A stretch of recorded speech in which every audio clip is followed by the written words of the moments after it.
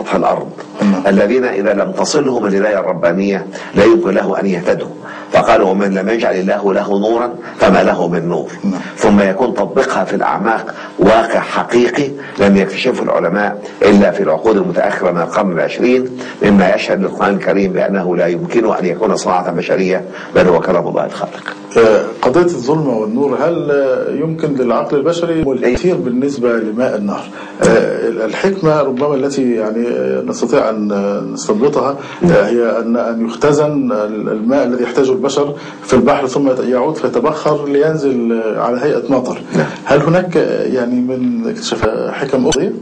وطبعا يعني القرآن يقول لنا في آيات كثيرة أن الله أنزل من السماء ماء مباركا وأنزل من السماء ماء طهورا نعم. يعني وقلنا أن ماء الأرض آه، لو لم يتحرك في هذه الدورة لفسد وأسن وتعفن في فترة زمنية قصيرة نعم. فربنا تبارك وتعالى يريد أن يحرك هذا الماء آه، حتى يطهر وحتى يزكو وحتى يترك ما تعلق به من أردان وأوساخ ويعني ملوثات نعم. فيعود ماء طهور وماء مبارك نعم. آه، لو لم لولا هذه الحركة يعني ما استقامت الحياة على الأرض. آه، الدورة هذه طبعا تلعب أدوار كثيرة كما أشرنا منذ لحظات نعم. أنها تعمل على تفتيت الصخور على تكوين التربة على شق الفياج والسبل على تسوية سطح الأرض على تكوين السهول والهضاب على آه، تركيز بعض الخامات المعدنية. نعم. فالدورة دي لها فوائد كثيرة جدا آه، يعني بالإضافة إلى تطهير الماء. وبالمناسبة يعني نشكل من جزء يسير جدا جدا جدا. الأرض حتى يبقى الإنسان محتاجا إلى رحمة الله سبحانه وتعالى في كل وقت وفي كل حين. نعم. لأن أحضرهم مثلا صلاة الاستسقاء نعم. باعتبار أنهم حوادي يعني أحيانا يعني مع الأسف الشديد آه، يعني يصرح بها البعض. لا والرزق والذي من الله سبحانه وتعالى لا يطلب إلا بطاعة نعم. سنة آه، صلاة الإسقاء سنة عظيمة نعم. تؤكد على هذه. القرآن الكريم واكدتها السنة النبوية المطهرة في مقامات كثيرة جدا أن الماء هذا سر الحياة وأصلها نعم الله سبحانه على عباده وعلى خلقه نعم. وأن هذا الماء من الرزق والرزق يعني لا يطلب من الله بمعصية أن يطلب بطاعة ولو شاء الله سبحانه وتعالى لجعل هذا الماء حقا لهم بأي طريقة طبعاً، طبعاً، ولذلك أقول- أن أصبح ماؤكم غورا غورا، نعم. ومن يأتيكم بماء معين لا يقول يعني يعني حجاجا نعم. نعم. لا ما غورا يعني بتكلم عن مياه الجوفي. نعم ممكن ان حتى يغيب كل المياه كل أنواع نعم. المياه. نعم. لكن رب العالمين يقول أفرأيتم الماء الذي تشرب أأنتم أنزلتموه من المزن أم نحن المنزلون لو نشاء جعلناه أولى أن الله تعالى جعل للغلاف الغازي للأرض تركيبا خاصا. ما نزل هذا ولا بهذه النقاء بهذا النقاء؟ نعم. والحقيقة دورة الماء يعني دورة يعني آه، معجزة حقيقة يعني. آه، تشهد لله سبحانه وتعالى بصنعه. نعم.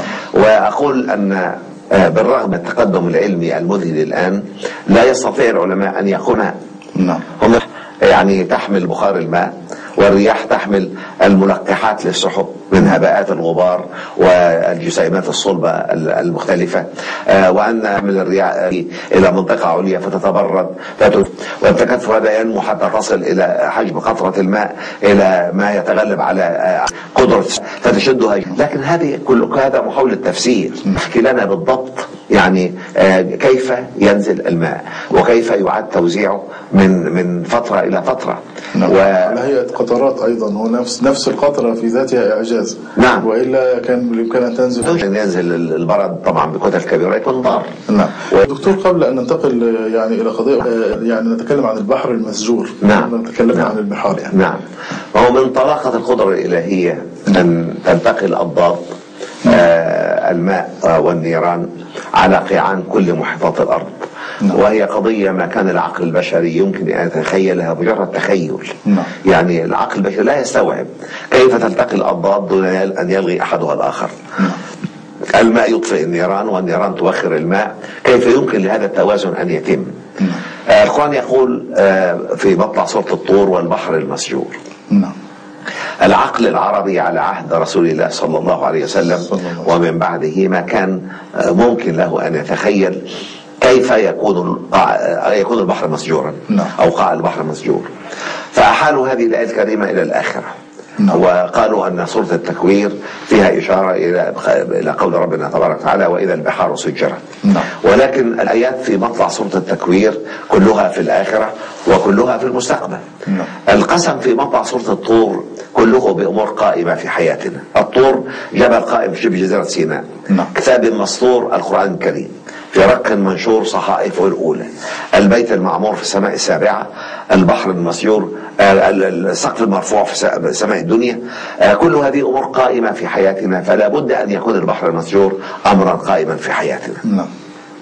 ونحن نعلم من استقرائنا لكتاب الله أن الآية القرآنية حينما ترد في سياق القسم هذا من قبيل تنبيهنا إلى أهمية الأمر الذي جاء به القسم نعم. لأن الله تعالى غني عن القسم لعباده فيريد ربنا تبارك وتعالى أن ينبه الإنسان إلى ظاهرة من الظواهر التي تشهد له بالألوهية وبالربوبية وبالوحدانية وبطلاقة القدرة وببديع الصنع وبإحكام الخلق نعم. فيقول والبحر المسجور نزل العلماء بعد الحرب العالمية الثانية محيطات بحثا عن بعض الثروات المعدنية التي بدأت احتياطيات احتياطياتها في التناقص على سطح اليابان في ظل الحضارة المدنية المسرفة المادية المسرفة التي نعيشها نعم. فلأن البحر طبعا أمواج البحر تلقي على الشاطئ بعقرات الحديد من معادن مختلفة نعم. فقالوا لابد من بفرات معدنية فحينما نزلوا وجدوا أمر عجيب جدا نعم. أن قيعان البحار إلى أي عمق نزل؟ إلى آه، عمق أربع كيلومترات نعم. نعم. آه، طبعا أربع كيلومترات يصل 12 إلى, كيلومتر إلى القاع نفسه. إلى القاع نفسه نعم.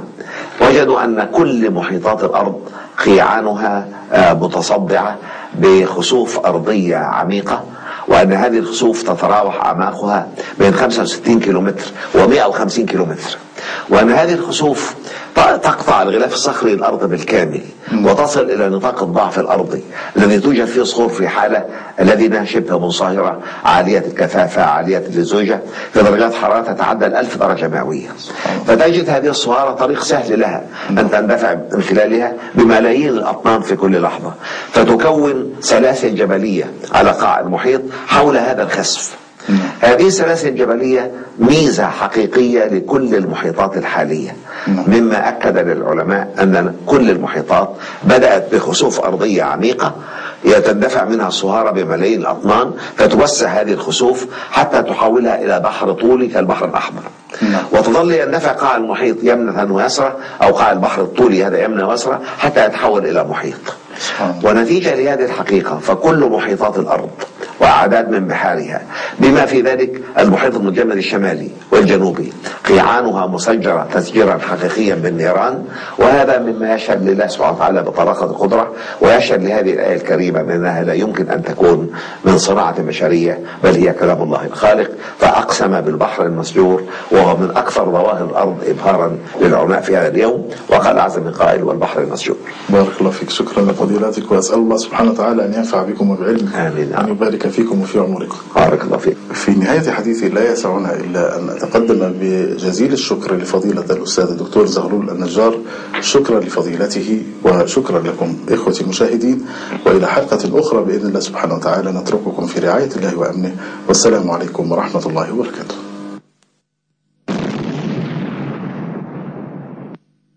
هذا الكتاب المستبين.